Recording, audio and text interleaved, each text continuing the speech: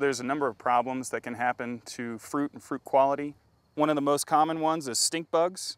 And what stink bugs do is they stick their little beaks in and poke around, and so they tend to disrupt the tissue of the fruit, uh, and so it doesn't ripen very well in those places where it's caused damage.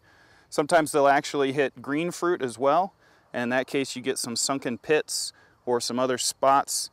Another issue that we have with uh, tomatoes is sun scalding the plant foliage doesn't cover the fruit very well.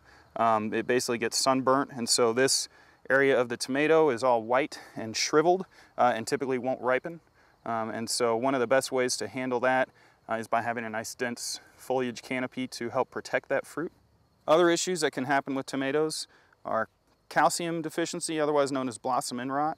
Oftentimes it'll cause a large brown shriveled area on the bottom of the fruit, but sometimes it'll also cause these small uh, flecks of brown and shriveled tissue.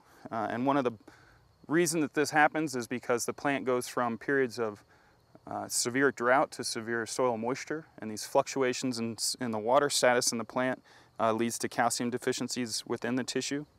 Tomatoes are very susceptible to cracking of the fruit. Here you can see this uh, cracking of the green fruit, and this happens because of excessive moisture events, but also because of excessive fertilizer. If you're using a little bit too much nitrogen, uh, you can end up with cracking across the top of green fruit. Oftentimes on red and ripening fruit, we have these splits that occur like this, where they go around the fruit uh, and, and actually split the, the ripening skin. And again, that's really just a matter of soil moisture management. Uh, so one of the things you want to make sure you do is give the plants an even amount of water uh, daily or every other day or every third day, but on a regular schedule, and also to not water them after heavy rain events. For more information, visit your local extension office or visit our website at kansasgreenyards.org.